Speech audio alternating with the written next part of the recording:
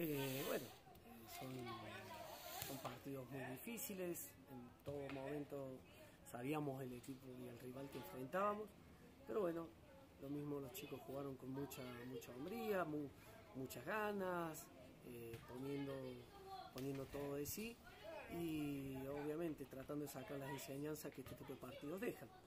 Así que nada, orgulloso los chicos como siempre y bueno, seguir trabajando.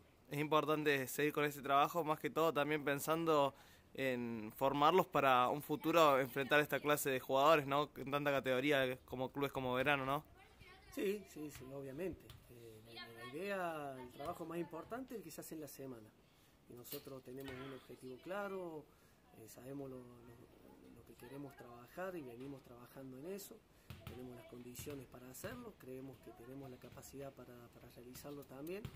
Así que no, lo más importante está en la semana, lo venimos trabajando y a no bajar los brazos, seguir, seguir trabajando como hasta ahora, que la verdad que lo estamos haciendo muy bien. Rescatar lo de la semana y también rescatar eh, lo que pasa después del partido en el tercer tiempo, inculcando valores como el fair play, ¿no? Sí, seguro. Eso eh, lo venimos haciendo hace tres años ya.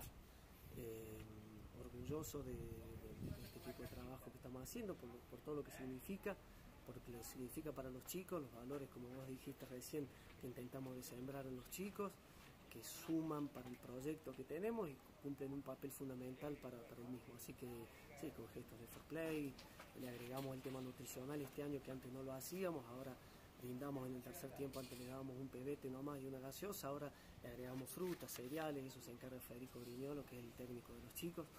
Y, y bueno, y además la nota que todos los fines de semana ellos, los mismos chicos, eligen para, para leer, en este caso leímos mitad, mitad Belgrano, un chico de Grano, mitad un chico de nosotros, donde les hacemos ver a los chicos, a los chicos la importancia del juego limpio y bueno, para que el día de mañana lo puedan aplicar no solamente en un campo de juego, sino también en, lo que les toque vivir, ya sea en el trabajo, en la familia y en la sociedad. Bueno, muchas gracias, profe. No, por favor, gracias.